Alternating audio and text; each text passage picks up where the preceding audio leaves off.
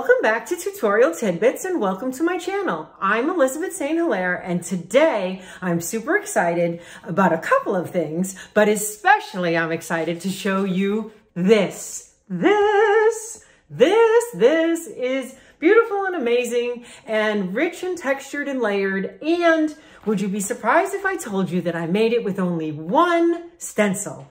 One mask to be precise, the Peacock Plumage Mask, one of my designs for joggles.com in the Peacock collection. So basically I'm going to show you how I did this, how I printed it over itself, over itself, over itself, over itself, over itself, to create something awesome and amazing and richly layered and textured. The key to this is understanding how to layer your color, understanding how to use your brayers, and understanding how to use the mask so that it is more interesting than just straightforward. So welcome to the studio. Um, I've got uh, something fun uh, to show you, a unique way to use one of my all-time favorite masks.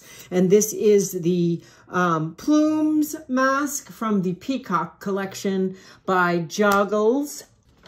The Peacock collection included nine masks uh, and designs that uh, are reminiscent of peacocks. So this one is plumage and um, the announcement that I have to make is that the Peacock collection, the Gustav Klimt inspired collection, as well as the Klimt 2 collection, all of these stencils and masks designed by me for Joggles are on sale today, April 1st, 2022. They're on 25% off, and that's no joke. You know I had to say that. Um, so you can get 25% off and all of my designs are in stock as of today. So hop on over to Joggles and get 25% off plus 50% off your shipping if you spend over $50 and they ship priority mail. So I know it's super exciting that this mask, the peacock plumage mask, along with all of my other designs, the Klimt 1, the Klimt 2, everything's on sale at Joggles.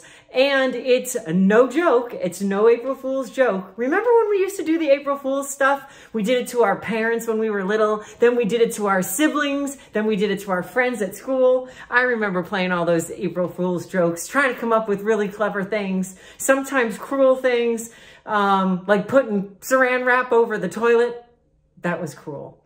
Anyway, we used to do all that and it was also my grandfather's birthday. My mother's father was born on April 1st and so we always used to like to play jokes on him on his birthday. But today's no joke. There's a good sale at Joggles. All the stencils have been restocked.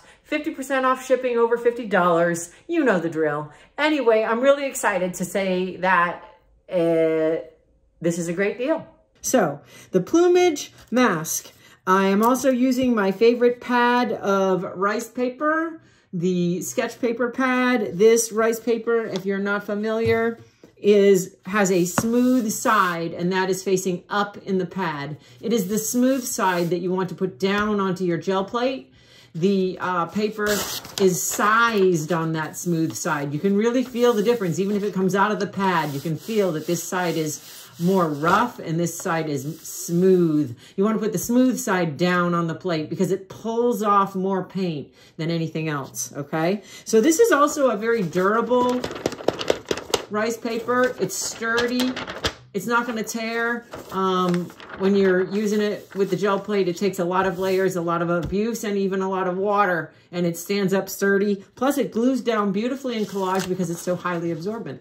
So that is, again, the 9 by 12 sketch pad of rice paper and the plumage mask. And I have my Dina Wakley 9 by 11 gel plate, which takes advantage of the 9 by 12 mask um, size-wise, really much better than the 8 by 10 plate. And I've got it in a metal storage tin because my clamshell has long since cracked so the metal storage tin by Dina Wakley for the plate is a great way to store your plate, keep it nice, and that is the gel plate storage tin. Okay, so few of my favorite things, all right? So the next thing I'm gonna get is two six inch brayers. So I have two deluxe brayers by Speedball. They're six inches. They look like they're the same color right now, but typically I use them so that I don't have to clean the brayer completely between layers. So I'll use one for cool colors and one for warm colors.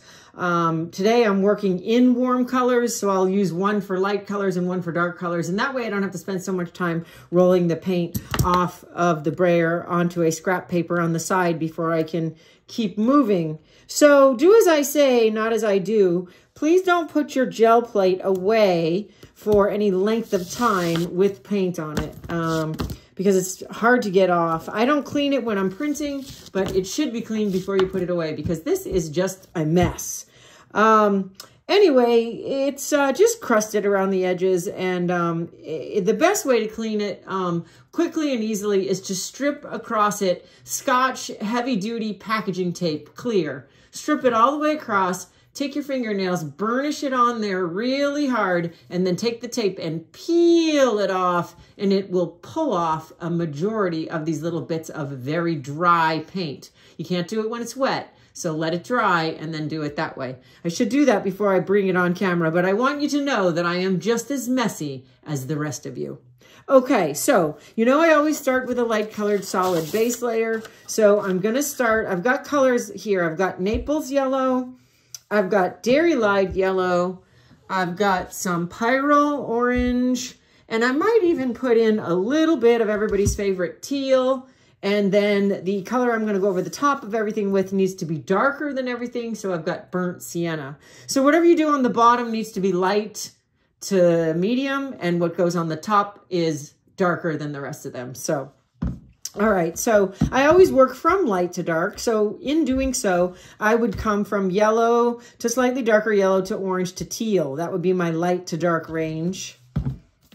Because as you layer, um, you go slightly darker. You can't get light colors to show up over dark colors unless they're opaque. I always love to explain to you about the golden paints. These, both of these colors are considered opaque um, you can see the tick marks through this uh, Naples yellow on the right-hand side, but you'll see like over here where the paint's a little heavier that it is opaque and that the teal is opaque. That is what the tick marks are for on the front of the container. You can see the black tick marks very clearly through this, and that shows you that Diarylide Yellow is translucent, but that these two are opaque. What does that mean? Well, that means that these two opaque colors will show up even over a very dark color because they are not translucent. But generally, when I'm using translucent colors, I'm always going to work from light to dark because if it was not opaque, uh, a, a pale yellow like this would not show up over an orange or over a teal. If they were all translucent colors, light colors will not show up over dark colors. But today we've got two opaque but I'm still going to be working from light to dark. So my base layer, I'm going to use the Naples Yellow. It's the lightest color I've got, and it's kind of a really nice neutral. And I'm going to roll that out in a nice thin layer with my 6-inch brayer, which covers my 9 by 11 Dina Wakley plate really quick and easy with a few strokes. I'm just getting it even here. I'm not going to worry about lines from the brayer. Even if you get a line like that, you don't need to worry about it because by the time we layer, layer, layer, you're never going to see those lines. And remember, when you put your brayer aside, it goes face up so that it doesn't stick to the table. That's why it has this nice flat back. So it goes face up okay? So now smooth side down on this nice sturdy rice paper, smooth side goes down into the Naples yellow. And we're gonna press, and I'll see if I can give it a little extra pressure around the edges. Maybe it'll pull off some of that leftover crusted paint. You can see that my 9 by 12 sheet is just, just almost completely printed with this 9 by 11 Dina Wakley gel plate. So I don't have any waste at all. I don't have any, I don't have two inches of white paper that I don't get to use when I spend uh, the money to buy this really nice rice paper pad. I want to use as much of the full sheet as I can. And I also want to use as much of the 9 by 12 mask design as I can. So putting that on a 9 by 11 gel plate really gives you almost full and complete coverage. All right, so I'm gonna pull this up. it pulled up a little bit of the stuff around the edges. You can see that sort of here where it's a little crusted around the edges. And it's given me a nice, basically Naples yellow print. So the next color I'm gonna go to is the Diarylide yellow. And I'm gonna use the same stencil for this. I'm gonna keep this simple and I'm gonna use the same mask. I am going to use the same brayer because I'm back in yellow again. I'm not going to worry about the Naples yellow that was in the brayer that didn't get cleaned off. And I'm going to show you how to do this using just one stencil. So we're going to put this back out and we're going to take that Naples yellow sheet and we're going to go slightly darker with the Diarylide yellow and print the plumage mask. So here we've got a nice, slightly darker yellow ghost print. Then I'm going to remove the mask and I am going to take the paper and flip it in the opposite direction that it was printed. And I'm gonna print the ghost print right on here. So I flipped it in the opposite direction so that I would get an intersecting print rather than one that lined up. So now I've got some really nice texture and pattern going here and almost a clean plate. So the next color that I'm gonna go to is the Pyrrole Orange. So I'm going to put that out and I'm going to keep with my yellow brayer because the yellow is not going to adversely affect the Pyrrole orange and I don't have to clean it that way. So I'm rolling out the orange. Then I'm putting down again this plumage mask. Let's keep it simple. So now I'm going to print that orange over these two layers of yellow.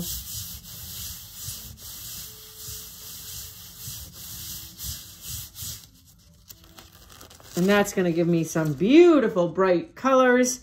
And for the reason that I want to maintain that yellow, I'm not going to print the ghost print this time, but I am going to pull it for another piece of collage paper down the road. So rather than cleaning it off, I'm just going to print it onto a cleanup sheet and we will use this to create another piece of collage paper.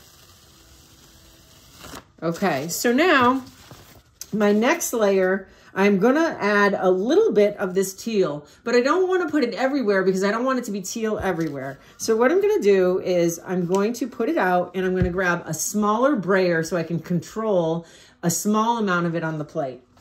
So I've got my two inch deluxe brayer from Speedball and I'm going to put a few drops. Now, when I put drops, I'm tapping the fluid acrylic bottle. I am not squeezing it at all. I'm just merely tapping it.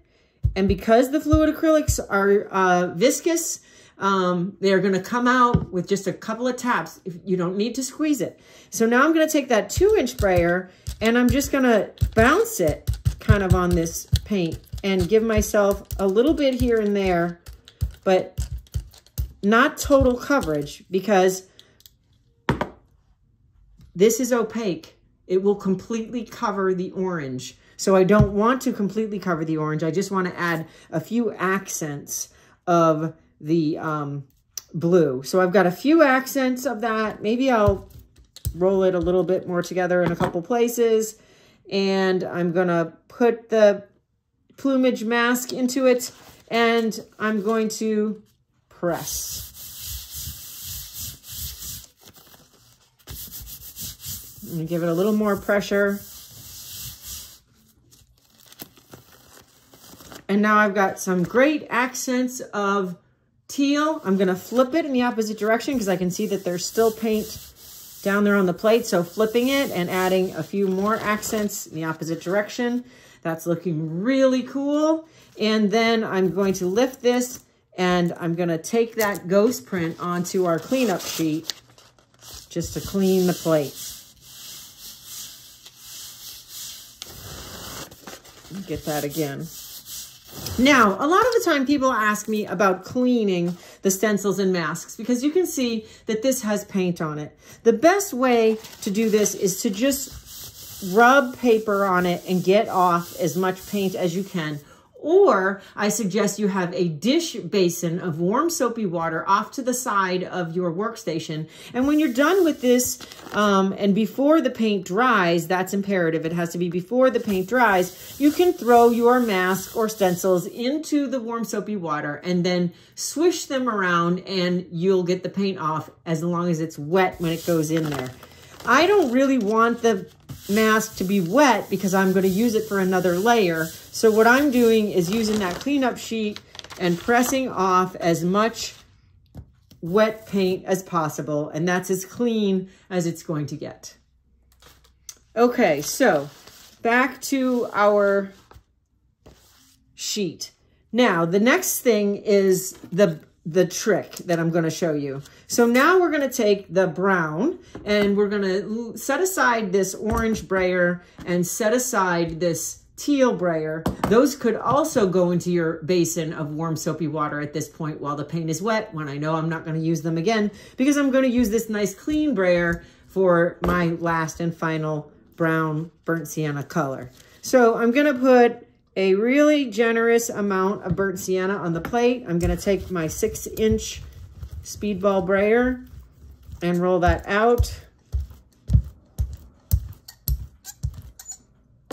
I'm going to put the peacock plumage mask into the um, burnt sienna and I'm going to take this print and rather than just straightforward print it, I'm going to move it around randomly.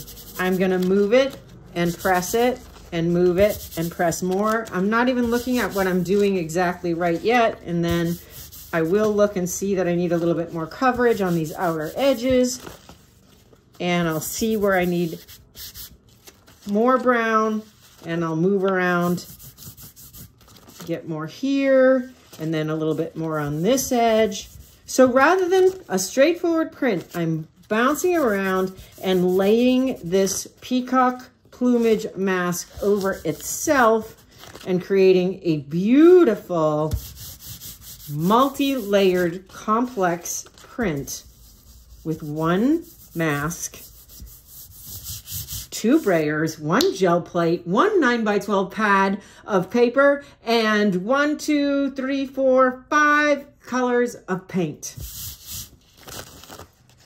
And look at this rich layering that's going on. Got a little heavy in the middle, so it's the outer edges that are really beautiful. What's happening right here. I love that.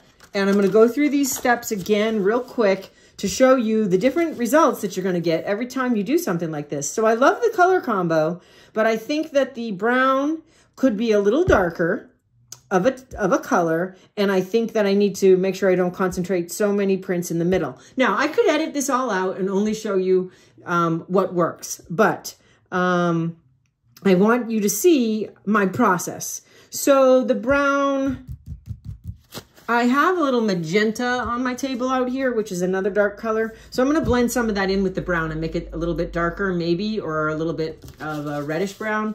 So anyway, um, let's try it again. So we're gonna do Naples yellow. We'll see what kind of different results we get with the same steps. And as good as I make a print, and I love a print, I can never make exactly that print a second time. It just doesn't work. So Now this has got some ghosting on it from what's left behind, but I don't mind that. So that's the Naples yellow. Then we're gonna go to the Diarylide yellow using that same yellow brayer. And then the mask, and then printing the Diarylide.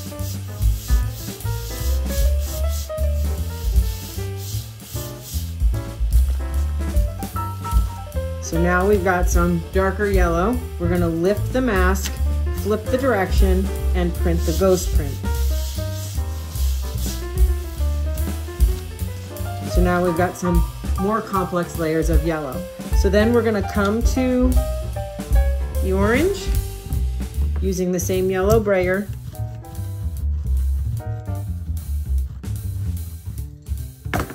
We're gonna bring the mask back and print the orange full page.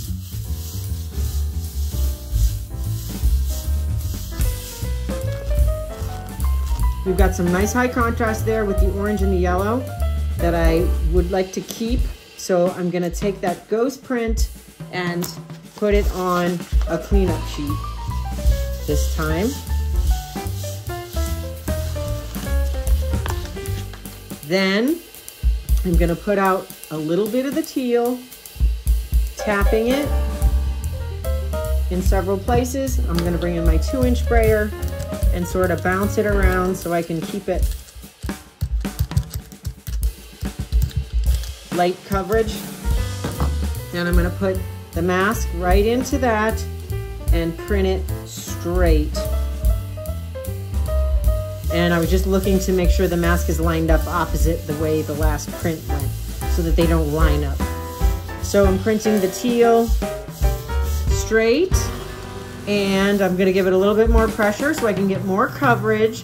Before you pull the paper off, you should sneak a peek and make sure that you've got good coverage.